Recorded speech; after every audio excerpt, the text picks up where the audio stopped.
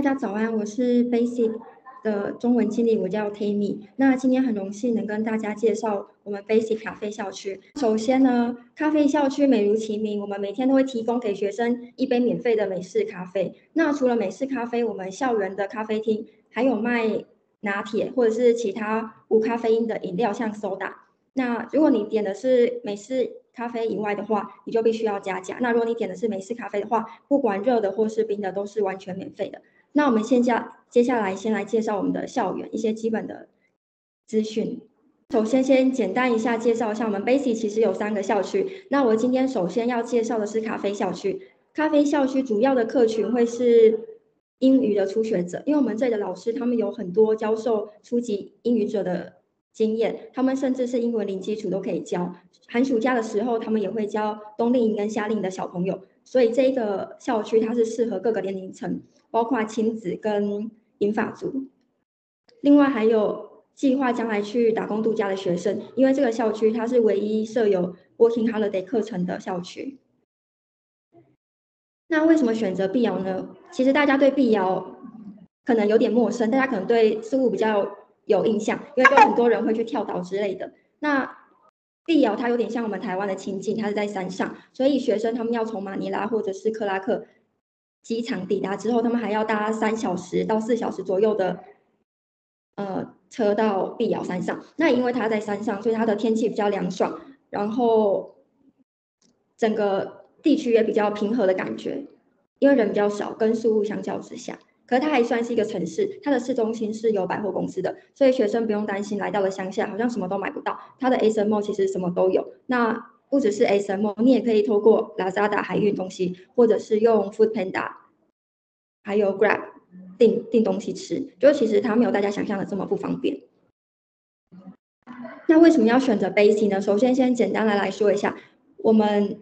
的学生来自世界各地。那以国籍比例来说的话，我们日本人的国籍比例会比较高。接下来是台湾人跟阿拉伯人。所以其实蛮多学生他们来念书，他们会觉得在这里能够交到很多国籍的朋友。另外，我们有自己的 Educare 系统。那什么是 Educare 系统呢？它是我们独家的一个学习追踪的网站。每位学生他们入学之后，他们都会拿到一个 QR code。它在你的学生证的背面，那你很方便，你不用知道自己的 ID 或是密码，你只要扫描，你就可以进入那个系统。那进入系统之后，你就可以看到自己的课表，还有你的入学考试成绩，你每天出席的状态，还有你每次参加考试的结果，还有老师的对你的评语跟你的成绩，就是不用担心说你考完了好像这就没事了。其实你考完之后，老师都会给你评语。另外，我们有自己的一个独家的课程，叫做 Speaking Prescription。那什么是 speaking prescription 呢？它其实是一个加强口语的课程。因为像我们台湾人，我们可能很会读跟听，我们文法很强，可是我们在讲话的时候常常都会出错。像是我们可能知道需之后要需之后要加 she has，而不是 she have。可是我们口语的时候可能都会很紧张，不小心讲成 she have。那这个课程的话，它就是能够透过每周的录影，然后我们会有专门的老师去帮你纠正的文法，让你知道你自己经常犯的口语错误是哪些。所以这是一个我们还蛮受欢迎的一个课程，它在咖啡校区也有提供。那在咖啡校区，它会被包含在 Intensive ESL 的里面。加上接下来我们也会做一个深入的介绍。那最后是我们的学生，他们每周都会有周末活动，学校都会安排旅游。学生如果有兴趣的话，只要在布告栏上面填名字报名。我们三个校区只要满十位学生，我们就会出团。另外，我们这个旅游团是有老师跟着参加的，所以不用担心你不满十八岁不能够出门。我们这个团是有老师一起参与，所以就是安全。然后，因为老师他们是当地人，你你有什么问题你都可以直接问他。接下来我们要介绍咖啡校区跟其他校区有什么不同的地方。首先，咖啡校区它是位于山区，所以它相对来讲它会比较安静。虽然它在山区，可是其实它也不会离市区太远。我们如果从市区以 S M O 为中心来说，出发到咖啡校区，其实不塞车，只要十分钟而已。那必要好叫计程车吗？其实还蛮好叫的，尤其是在 S M O 那个地方，都是有计程车在排班。现在碧瑶的计程车起价是五十 peso，那其实 peso 很好计算，就是五十乘以零点六就是台币，所以其实计程车的起价只有三十块钱。那如果从市区搭车到 SMO 的话，那预估会是一百 peso 左右，所以也只有六十台币，就是经济来上不会是一个很大的负担。其实你每天都出去采买或是出去吃饭的话，再就是这个校区，它是位于碧瑶的富人区，这附近都是一些有钱人他们的避暑的别墅。那我们校园里面也都设有 CCTV，晚上是有警卫去巡逻的。那我们警卫也不是随便请来一个副校园，我们警卫他们是有执照的，在菲律宾他们是有保安执照。那我们请的 security guard 他是有执照的。另外，我们这个校区是在所有校区里面，它福利比较多的校区。除了之前讲到的每天一杯美式咖啡以外，如果你报名买四周，我们还会送你一次免费的按摩机会。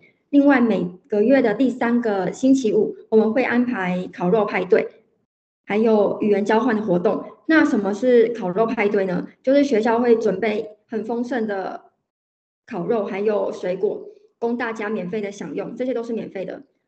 那什么是语言交换活动呢？语言交换活动。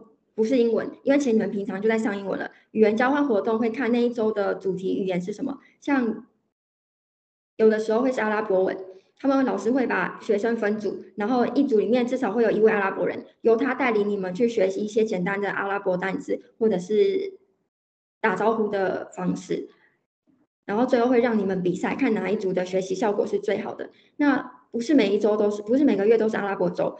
所以有的时候会是台湾人教其他国籍的学生讲中文，或者日本人教其他国籍的学生讲日文。那这个活动除了可以让你们增加交流以外，也可以让你发掘你其他的语言的兴趣。也许你学完英文之后，你会对阿拉伯有兴趣，你会想要进修阿拉伯文，就是想要借由这个活动去激发学生的潜能。再来，我们这个校园它是一个比较绿化的校园，大家可以看到照片都是有很多绿树。那天气好的时候，学生可以选择在户外上课。那阳光很充足，尤其是这里的空气会特别好，因为它位于山区。接下来是这个校园，我们提供的不只是一般的 ESL，还有打工度假的课程。另外，我们为了寒暑假的亲子家长，我们还有设有 Junior ESL，就是为了十五岁以下的小朋友设定的课程。那首先我要介绍的是 Light ESL，什么是 Light ESL 呢？它其实是有点为了引法族或者是陪小朋友来学习的家长而设计的。来 ESL 的话，它只有两堂一对一跟两堂团体，所以它课程非常的少。那它比较适合引法族，是因为引法族其实不太想要太多的课程，因为他们的目的也不是说他们想要精通英文，他们可能是想要学习英文之后之后去旅游之类的，他们学基础的就可以，他们不需要太多或者是很。他们不会想要太多的课程，然后把自己搞得很辛苦。他们主要是来放松跟享受菲律宾的文化。再来是 Speed ESL，那 Speed ESL 的话会包含听说读写，那这会是比较多学生会选择的课程。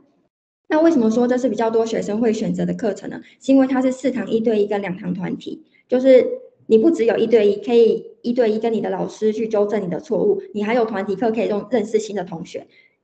那为什么认识新的同学很重要呢？是因为大家在校园里面下课之后要干嘛？周末要干嘛？一个人很无聊嘛，你总是要认识同学，大家能够互相交流，然后周末有个伴一起出去玩。而且语言这个东西不是你自己跟自己讲话，是一个交流，所以我是觉得团体课还蛮重要的。那再来是 intensive ESL，intensive ESL 的话是想要针对能够短期之内快速提升英语程度的学生而设计的，它的课程会比较的密集。首先它是六堂一对一。然后晚上有三堂必上的晚晚课，所以你会有六堂一对一跟三堂夜间晚课。其他一其他 ES 的学生，他们可以选择要不要上晚上的三堂晚课。可是对 Intensive ES 的学生来说，三堂晚课是必上的。如果你想要放弃的话，你必须签署自愿自动放弃书。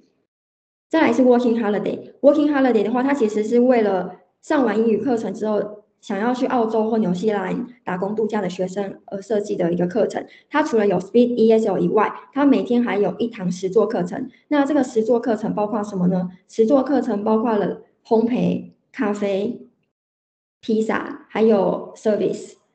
除了这些课程以外，我们周末还会安排实习。我们有合作的餐厅，可以让你到现场去实习。周六或周日的上午，看你的时间什么时候可以，我们会有老师到你到现场。然后你实习之后，你必须自己搭车回来。当然，那个餐厅不是在很郊区的地方，它也是在市区，在 S M M O 的附近，所以你不用担心不知道该怎么回来。接下来我要介绍我们的校内宿舍。那我们校内宿舍它是比较经济实惠，价钱是比较小资的，它每间房间都是多人房型，有双人房、三人房跟四人房。可是它唯一的缺点就是它的卫浴在外面。那卫浴在外面的话，也有学生喜欢卫浴在外面，他们就可以避开尖峰时段去使用。另外，我们的 dining area，dining area 它在用餐的时候是餐厅，可是用餐的时间以外，学生是可以自由的在这里上课或者是跟同学聊天。接下来我要介绍我们一对一的单人套房跟单人雅房。那这个房型呢，它就是有完全私人的空间，就是你如果选择的是 master single，你就会有卫浴在的房间；如果你今天选择的是 regular single，你就会跟你的室友合用一个厕所。不过照理来讲，你的室友其实不会去用你的厕所，因为他的厕所就在房间里面。那这样的公寓房型通常会是一间 master single 跟两间 regular single 而组成的。那你们三位会一起使用一个。共用的客厅跟公用的厨房。接下来我要介绍我们全新的女生宿舍。那全新的女生宿舍，它全部只有女生可以住在这个房型里面。那这一层的话，有单人房、双人房跟三人房。这个房间的好处，除了是都是女生以外，我们还有一个很舒适的客厅，还有一个很宽敞的厨房，可以供你们使用。那其实它也没有很多学生会在这个。公寓房型里面，我们也总共只有六套公寓，在这个大的空间里面。那其中有三个是单人房，两个是双人房，一间是三人房，所以不会很拥挤。最后，我想简单的来介绍一下我们咖啡校区有什么设备。那除了有一对一教师、团体教师以外，我们还有很舒适的阳台。那有的时候学生他们会在天气好的时候选择在阳台上课，就是看着美景然后上课，可以提升他们的学习效率。好，首先有限制入学年龄吗？如果学生是跟家长一起来的话，我们最小可以收到四岁，四岁的小朋友可以上 Junior ESL。那如果没有家长陪同的话，我们的入学年纪就是十五岁，就是高中生以上。那另外打工度假的十座课程是每天都有吗？是的。如果你今天上的是打工度假的课程，你会有四堂一对一，两堂团体，然后还有一个小时的实作课程。我们必须报名满八周，所以学生每两周学习一个技能。例如说，两周学习咖啡，两周学习披萨，两周学习烘焙，两周学习怎么接待客人。